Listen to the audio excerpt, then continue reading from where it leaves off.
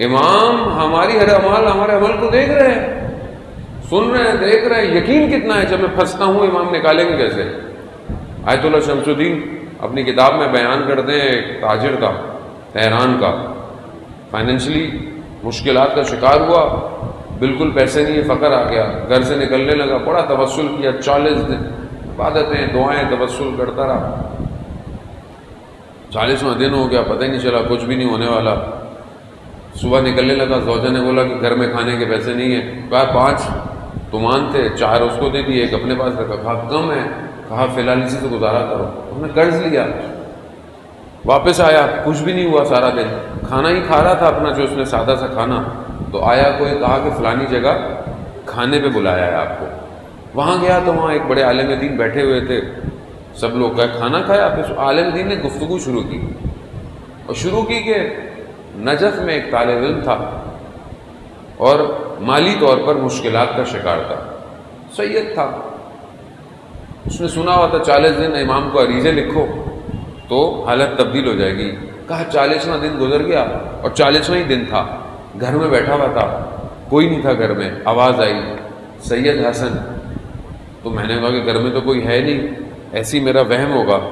दोबारा आई, सैयद हसन। तो मैंने कहा कि आवाज़ तो मुझे ही आ रही है, मैंने, मुझे कोई नज़र नहीं आया। फिर आवाज़ आई, सैयद हसन, तुम क्या समझते हो? हम तुम्हारे अहवालात से बेखबर हैं। हमें तुम्हारी खबर है। कहा, बस सिर्फ़ ये आवाज़ आनी थी, मेरे दिल को इतमान आ गया।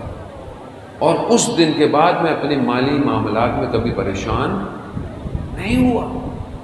कह रहे, जब कि मैंने वाक़ सुना तो मैं समझ गया, ये आलम दिन मुझे सुना रहे हैं। ये मुझे सुना रहे हैं। कह रहा, मैं उस दिन के बाद से लेके कभी मैंने अपनी माली मुश्किल का इजहार किसी से नहीं किया।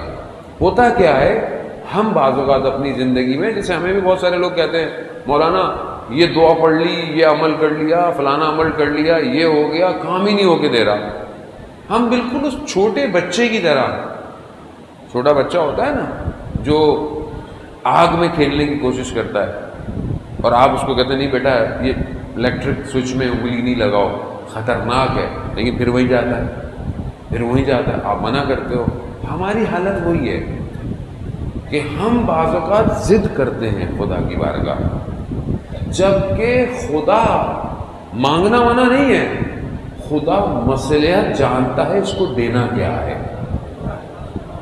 भाई, या तो आप यकीन न रखें ना, या तो आपको बोले, खुदा पे मैं यकीन न रखूँ।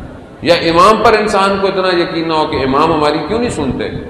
पहले तो इंसान अपनी तरफ़ तवज्जो करे कि उसके अपने अंदर क्या गड़बड़ है। कोई ऐसी रुकावट तो नहीं है जो उसकी अपनी ही रुकावट, उसके दुआओं को पूरा नहीं कर रही है। इंसान अपनी तरफ़ मुतवजो जाने मोहतरम, ये पहली चीज़ है कि मैं इमाम तक कैसे पहुंचूँगा जब मैं खुद कहीं किसी रुकावट का शिकार